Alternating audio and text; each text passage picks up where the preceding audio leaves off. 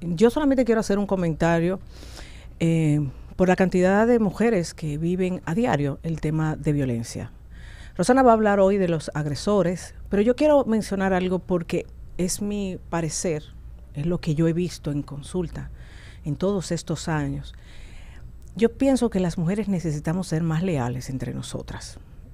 Yo pienso que si nosotras nos cuidáramos más, a pesar de quizás no estar de acuerdo con la vida que vivamos, la forma en que lo, lo hagamos, si fuéramos más leales entre este género, yo creo que no hubiera tanta violencia, porque es lamentable ver cómo a veces somos nosotras las que violentamos más a una mujer que está viviendo violencia.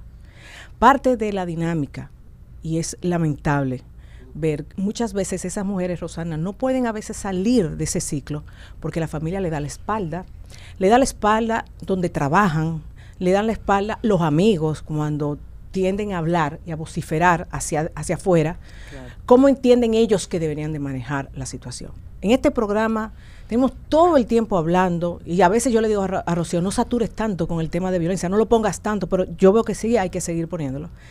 Porque, repito, mujeres, Quizás no estemos de acuerdo en el manejo y en la forma de ser de otra mujer que está lidiando con una violencia, pero cállate y apóyala. Porque eso que le está pasando a ella te puede pasar a ti, me puede pasar a mí. Y a veces lo que nos empuja a poder salir de la, del ciclo y también nos empuja a darnos cuenta que merecemos algo mejor, es cuando siento el apoyo y la empatía de mi género, de mi género sororidad, como siempre he dicho. Vamos a ser más leales. Vamos a callar cuando tengamos que callar y apoyar. ¿Por qué? Repito, cualquier mujer puede caer en violencia. Cualquier mujer. Ser una mujer exitosa laboralmente, con autoestima eh, estable, una mujer en todo el sentido de la palabra, y caer. Nada más hay que estar vivo. A veces lo que necesitamos es el apoyo, así, decirle a la, a la otra, no, yo estoy aquí, lo que tú necesites, un, plato de comida, que yo te apoye, que te ayude con tus hijos, lo que sea.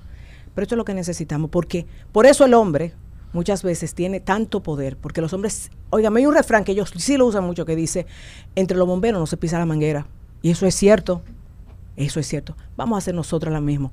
Vamos a no pisarnos las mangueras, o bueno, manguera no tenemos, pero sí tenemos, poder, puedo decir clítoris o pezones, como ustedes quieran decirlo, pero vamos a ser más leales entre nosotras no nos ataquemos, porque a veces yo veo más violencia de las mujeres que rodean a esa, a esa víctima que hasta del mismo agresor.